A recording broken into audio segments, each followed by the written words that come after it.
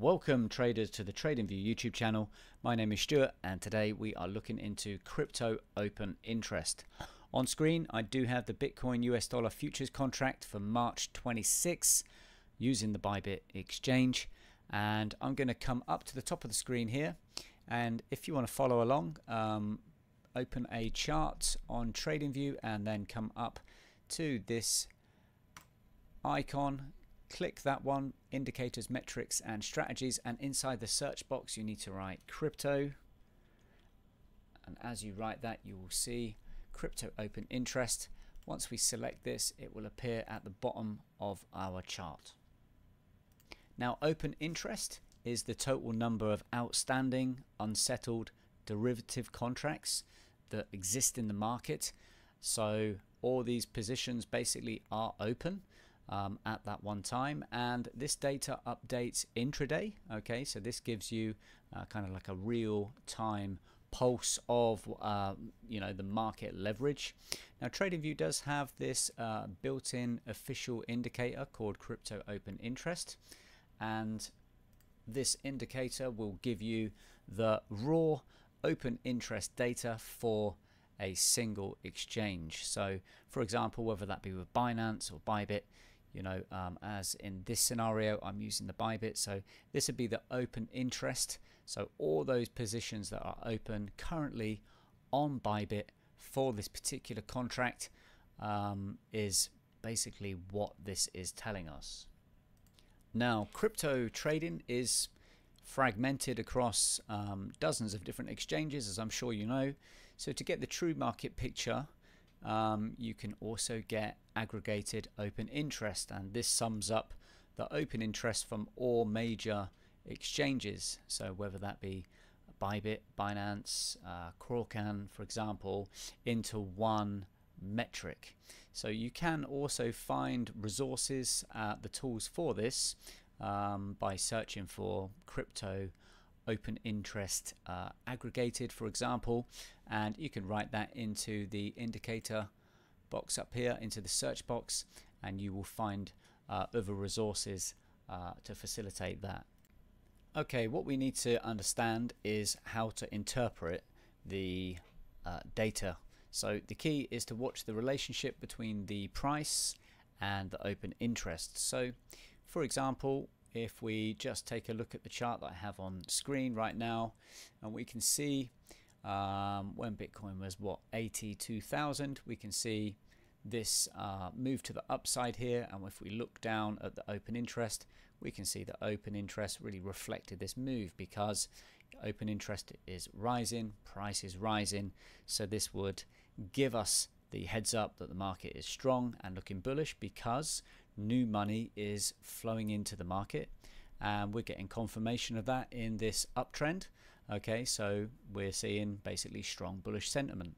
At the same time um, when the price is rising but open interest is falling this can uh, be interpreted as being you know a weak or to be a bit cautious because the trend may be uh, getting exhausted.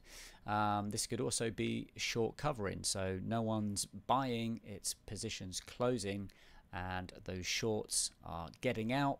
And of course, to get out of a short, they they basically buy in back, right? So we're seeing that push up here, for example, which is not new money coming in; it's these positions closing, as you can see. Um, in addition to that, we also have a price that is falling and open interest is rising. So we can find example here. So we have price falling here and open interest rising. And this is clearly new money is supporting this downtrend. Okay, so then we have a, a stronger bearish uh, sentiment. Um, and of course, uh, last is falling price and falling open interest. And obviously that's uh, the downtrend may be losing momentum and you know people are closing positions. So a good example of that would be uh, this area here because um, we've just had a Christmas period. It's obviously been very quiet. Uh, volume is definitely dropped. And here we do see um, falling price and we also see a drop in open interest. So that kind of matches the story of um, basically that that holiday that holiday season. Okay, once you're comfortable uh, with reading the open interest, you know, you can dive into more advanced tools on the TradingView platform. So whether that be something like a, another indicator, so for example, you know, there are indicators which will show you uh, where the most contracts are open. So similar to a volume profile, and this can help you identify, for example, support resistance, liquidation zones, and as well as that, we also have footprint charts. So a footprint chart, as I can show you here, uh, if we open a footprint chart, it allows you to show you open interest changes that happen inside of each candle. So you can see these are obviously conventional candles that we're all familiar with.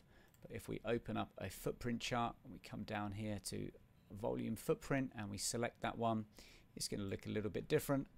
And potentially if you've never seen this before it can look a little bit intimidating but once you learn it obviously it's um, it's quite simple. So you can see the uh, candle here and we can see basically these numbers and they correlate to the information of what's going on inside of that candle so it basically gives you a breakdown of each candle in terms of is this move happening because of longs opening, shorts covering, and so on. So this is advanced order flow analysis and uh, this is another available option uh, to explore once you feel comfortable of course uh, but in the beginning this crypto open interest uh, indicator is also fantastic to get a foot in the door and begin to learn. So to recap you start with the crypto open interest indicator to understand those basics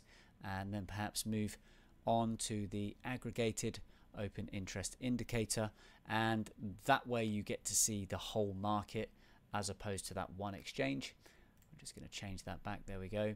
Um, always analyze the open interest in context with the price okay so you use basically the scenarios that I gave you earlier in the video to gauge uh, trend strength or weakness and you can explore the advanced uh, profile and footprint tools um, as of when you're ready um, inside of the Trading View platform. Just remember that open interest is a measure of commitment and by learning open interest. It really is a game changer because you're able to understand who's participating in the market. Uh, you're able to understand and see um, without you know opening any position um, who are the retail traders that are perhaps you know FOMOing in to a move that's just not there. So it really is very powerful once you uh, master how to read it. And in the volatile crypto markets, it doesn't really give you that direct signal, but it certainly does give you that crucial context about the strength behind a move. So um, I do encourage uh, more reading and more education when it comes to open interest uh, because it is one of the most important tools for understanding the derivatives market. And uh, let's face it, that is exactly what is driving the crypto price action. So very much. So please continue to uh, like the videos, ensure to subscribe. We do have a lot of content to come out in the very near future. And I really do hope this video has given you some perspective as to what open interest is and how you can utilize it in your trading. So please do continue to support us, uh, give us a like, and I will see you in the next video. Thank you.